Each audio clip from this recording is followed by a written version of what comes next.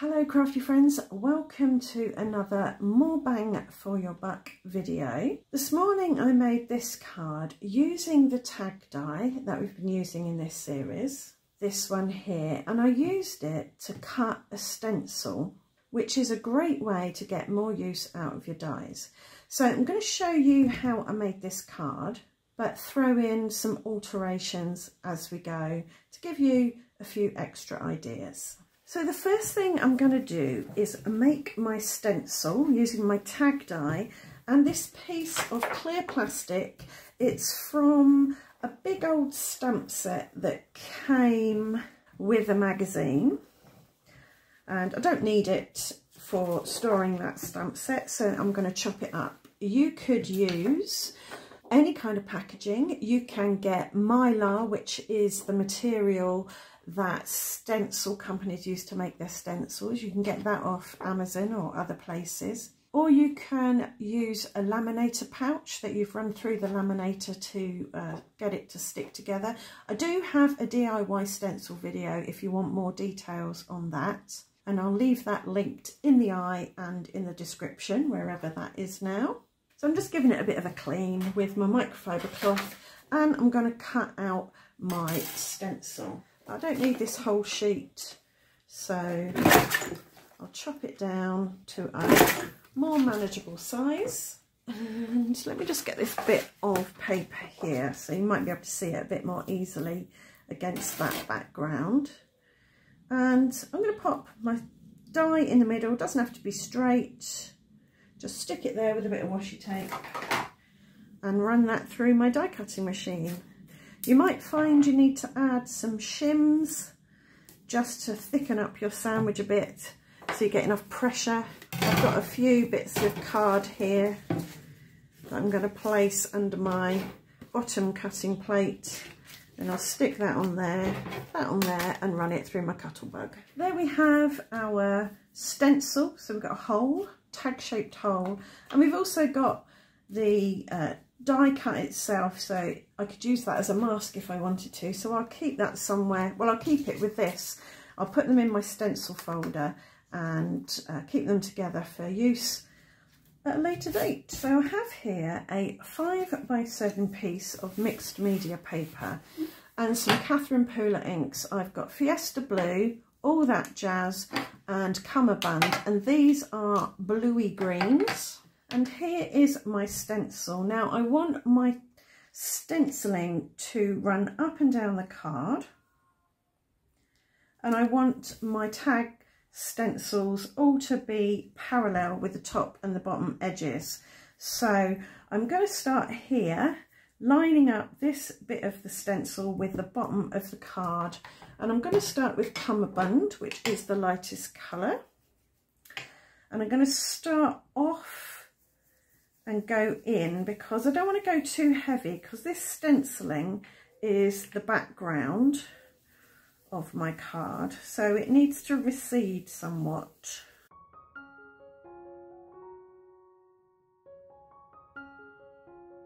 So I've shuffled my stencil up a bit, keeping these edges parallel, but shifting it this way a bit. So I'm going to get a staggered effect. And I'm going to use the cummerbund again. No, yes, the cummerbund, that's the right colour. So add another light tag shape. And again, up here, I'm going to do something similar, but I'm going to bring it all the way out. So I've got three cummerbund tag shapes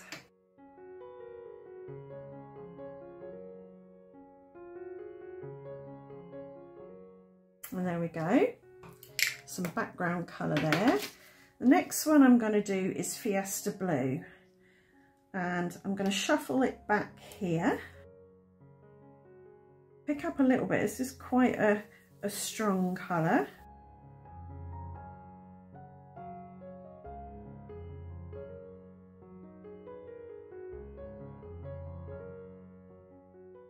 So now I've got a little bit of stronger colour there and I'm going to do this one overlapping. Now these inks, these Catherine Pooler inks are dye based, not pigment based. So they are really lovely for layering like this. So you can see through the top colour to the bottom colour below and you get a nice interesting blend.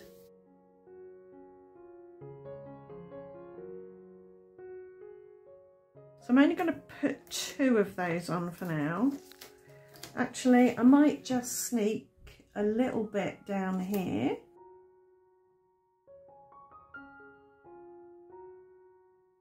And maybe a small little bit here. And a small little bit up here. So we've got five bits of this. Some of these may get lost when I cut my panel down later, but we shall see. And now I'm going to put one of the All That Jazz because this is a really saturated, strong blue colour. So I'm going to go in quite heavy with this. And this is about a third of the way up.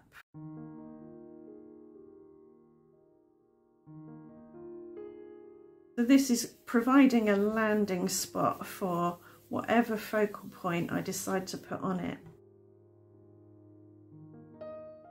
The blending is looking a bit splotchy at the moment, but that's okay because these inks do smooth out to some degree. So for this card, I used the Be Mine Sweet 16 Pixie Dust and Serenade Catherine Pooler inks from the Party Collection.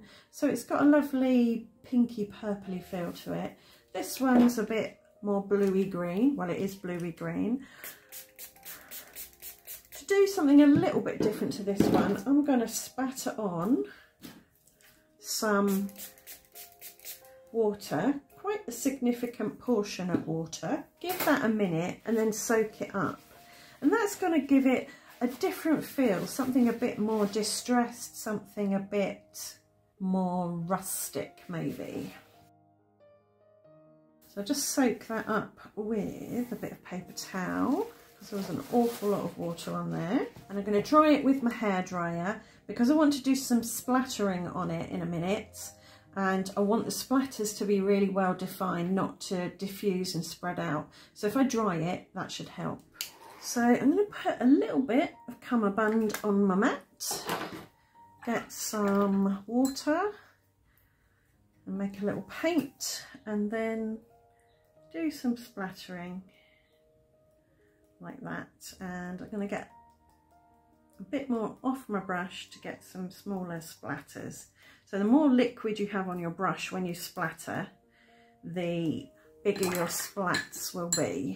And I'm not going to waste that. I'm going to use some mixed media paper to pick that up because that might come in useful later. I want some cummerbund, was it cummerbund? No, it was all that jazz. If I want some all that jazz on something. So I'll dry this again before we move on. So I've had a bit of a happy accident. I don't know if you can see, but my brush had a bit of gold metallic watercolour still on it. So my splats have a bit of a gold shimmer to them, which is nice. I'm going to trim this down ever so slightly, just eyeball it because it's five by seven and I want to make a five by seven card so I need to take a little bit off so I've trimmed that down and mounted it on a five by seven inch card blank and we're ready for the next stage for this card I used the die to cut out a gold glitter die I'm thinking I want a vellum die for this one so something see-through and I'm going to pop that on there I might actually double it up. I'm going to cut a second vellum tag, but before I do, I'm going to pop some double-sided adhesive on the vellum and I'm just going to peel off a little bit of the backing and fold that down and then get my top tag and get that lined up perfectly.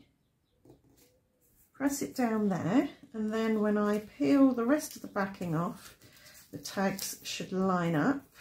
So now I've got a double thickness vellum tag, but it's also got a bit of sticky in the middle. So it's quite thick, but it's still translucent. And you can see the background through it, which I like. And I've cut a piece of the double-sided sticky using the tag die. But it's not got anything else stuck to it because I want to stick this down and I should have cut both of the tags with uh, sticky on the back but I didn't. But I can apply it this way. I can put the sticky on the back of the tag like that. And now I can peel that off there and stick that on. So now that is double-sided sticky vellum, double-sided sticky vellum. And I'm going to pop that on there, parallel again, so it all looks nice and square. So now we've got another part of our focal point done. So on the original card, I popped the gold cardstock tag up on craft tape, foam tape rather. But this one I've put flat down because obviously if I put foam tape behind that you'd see it. So I still want to add some glitter to the front of this. So I've got some copper glitter cardstock and I'm going to use it to cut some branches I think. So I've got one of the tall branch and two of the smaller branch. So I think we'll have them something something like that. So to add some glue to the back of my die cuts here, I've got my high-tack glue and a blending sponge. And I can just pick up the glue and squish it on like that. And when I've finished, I'll just pop the blending sponge in a glass of water. And then when I finish crafting, I'll go and wash it out in some warm soapy water and it'll be absolutely fine just another way of adding glue to the back of intricate die cuts.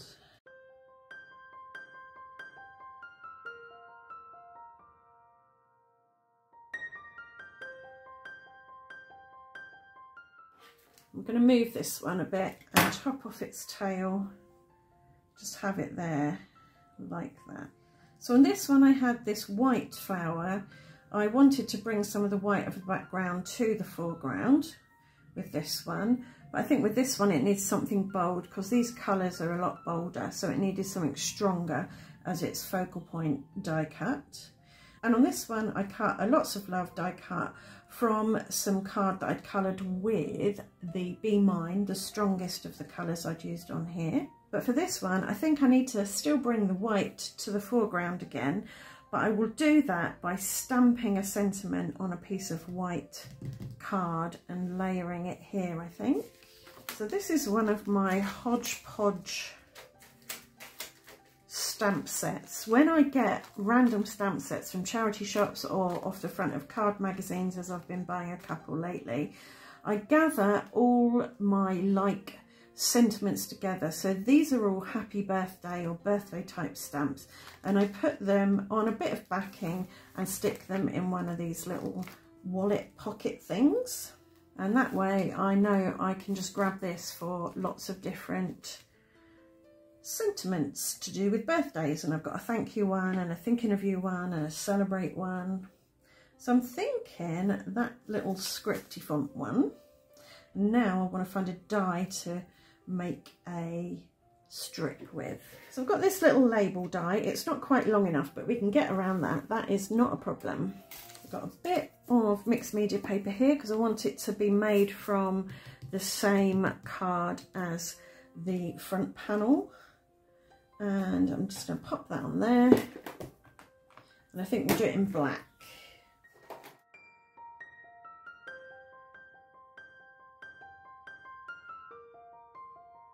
So now I shall line this up like so and I'm going to pop it so only half of it is in the folder which means this bit won't cut. Now I can take that bit off there, get those to fit in the grooves, line it up like that. That in the folder, but have it so that this bit of the die is hanging out.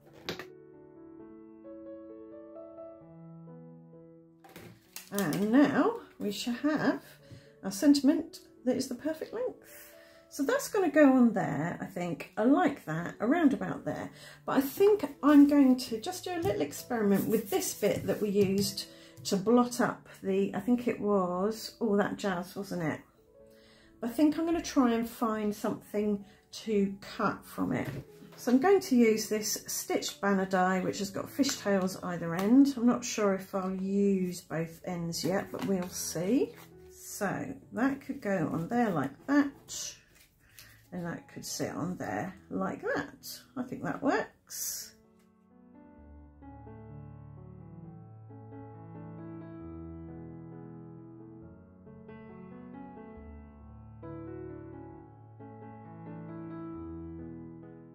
So we're going to pop that up on craft foam to give everything a little bit of dimension now. And this I'll glue on the banner. And on this one, I used this wonky circle die to cut out some little dots in that Be Mine colour. And I'm going to do the same with this one, but I'm going to use the copper because I think we need a little bit of copper spread about. Let's have a little bit of glue there and I can pick up my copper dots.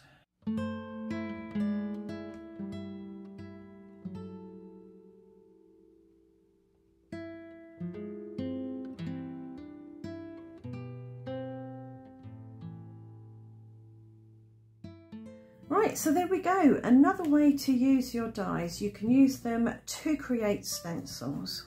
And we've got two cards here made using the same design ideas, the same techniques, but different colours, uh, different arrangements of things. Do let me know in the comments which of these two you prefer. I think I'm leaning towards this one. I do like the splattering on this one, but I love this colour combination. I think it's gorgeous although the lots of love is a little bit lost I think on that flowery die cut. So I might if I were to do this one again do something like this on here.